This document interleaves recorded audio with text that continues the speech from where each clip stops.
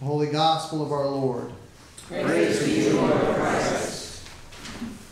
I speak in the name of the risen Lord, Father, Son, and Holy Spirit. Amen. Please be seated. So take a deep breath. Your responsibilities are almost over. Just relax.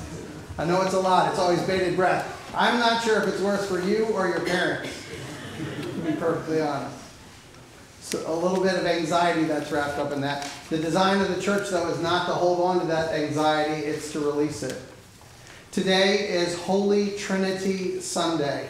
Uh, jokingly, amongst circles of priests, which albeit are small and usually not very funny, uh, we say this is Heresy Sunday. Uh, because it's a Sunday where all sorts of priests get up and give all sorts of new and different analogies as to what the Trinity is and how it meets you. And all those th- things usually tend out to be not quite right. Not quite right because we already know what is quite right. We already understand what the Trinity to be. Co equals in co unity. The Father, the Son, and the Holy Spirit all working to meet us in unique and different ways for the opportunity of us. Those things, our God remains static. Static. They stand still. And we, in that relationship, are dynamic because we must move and bob and weave and work our way back to God over and over and over again. That is our responsibility as Christians. Knowing, knowing that God will always be there and that God will always meet us where we seek Him out.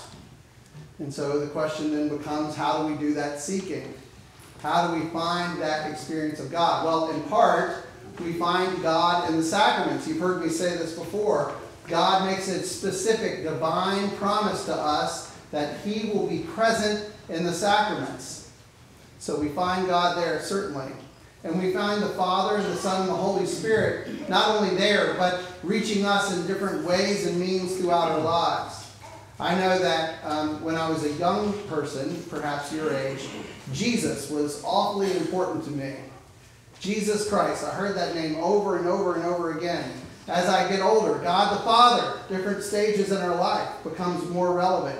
And then, of course, the Holy Spirit, who He's left for us uh, in this Pentecostal season as a harbinger uh, to remind us of the Spirit present amongst us.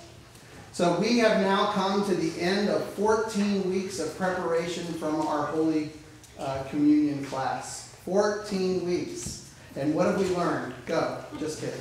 I'm not, not going to do that to you.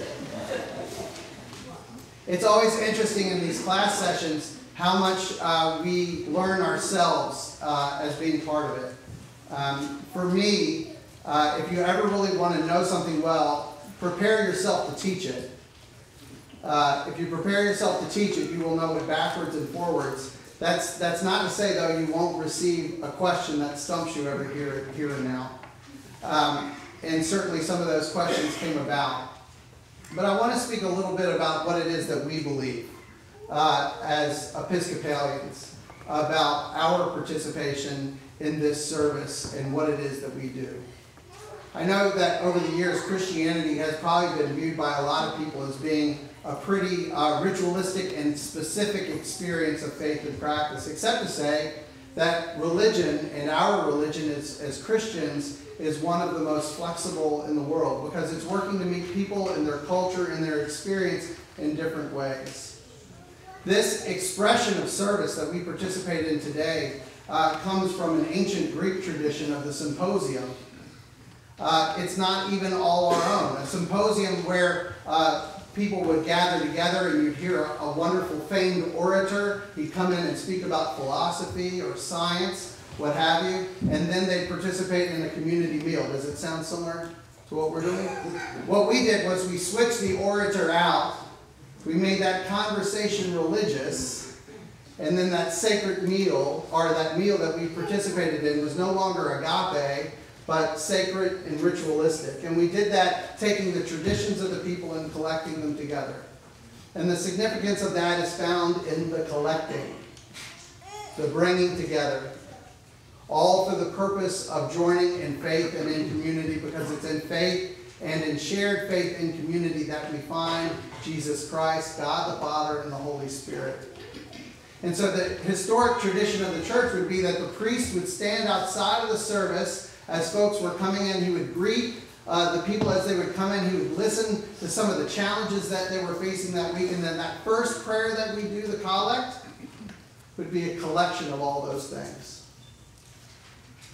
I pray for this person. I pray for that person. I pray for these challenges that we're facing.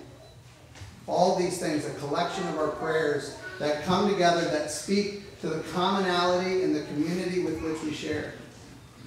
And then we participate in a little bit of learning, a little bit of scripture. In our tradition, we say scripture, reason, and tradition, right? We interpret it. We ask you to bring your minds in the door that you might participate in that opportunity. And then once that service of the word is over, we go right into communion. This sacred feast. Not just a service of remembrance, it's not just a eulogy, right? It's not that. But it's a opportunity where we're worshiping together and we give notice. We realize that God is really present. And those two words are really important.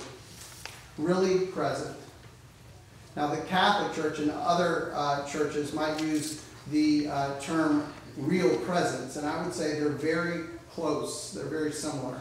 But, you know, we're Anglican, we have to be a little bit different, right? So we say really present, and it is to say that what we believe is that something mystical happens to the bread and the wine that we consume, that it becomes something unique and different, a sign and a symbol that points to something greater and that our participation in that communion is an act of participating in God's grace, an extension of God, a static God that's continually reaching out to us over and over again. And the significance of using those two particular, three particular elements. What are the three elements that we use in communion? The bread, the wine, and the, this is the hard one, water. Right? The wine is representative of the grapes, the grapes representing uh, the harvest and the many people that come together, the work of human hands. All those grapes come together to make that wine. And the many grains, which also represent the people coming together uh, to make the bread. Again, made of human hands for our consumption. And so, what we believe is on that corporal, which is that it's a piece of cloth that sits upon the cross or on the altar, that corporal, everything contained there becomes holy and blessed. The significance of that for us is that we believe it, it participates in a metaphysical change where it becomes something else. And I've said this to our class, but if you were to take that bread and that wine and put it under a microscope, it still looks like bread and wine. Right? That's what we believe. That's also what the Catholic Church believes. It still looks like bread and wine. It still is materially bread and wine. But it has been mystically altered to be something new and something exciting and something to imbibe us to bring us closer to Jesus Christ. And so that's what we sign up for. That's what we sign up for as Episcopalians, that we would give it that kind of reverence. And the significance of it, especially for me, the significance of it is we have a God that is so abundant that he is willing to be in such, such simple and perishable things. Think about that just for a moment. We have a God that's so abundant that he's willing to be in such simple and perishable things, things that can be thrown away. If we have too much communion, what do you think we do with it? We either eat it, or drink it, or we what? Commit it to the ground. We have a God that's so abundant for us that He's willing to even be put in a position where He would be cast to the ground because our God wants us so much, loves us so much, that He's willing to reach out in every way, shape, and form of everything He's created in the world that He might touch us and be near us and be close to us. Remember, God stays the same. We must move.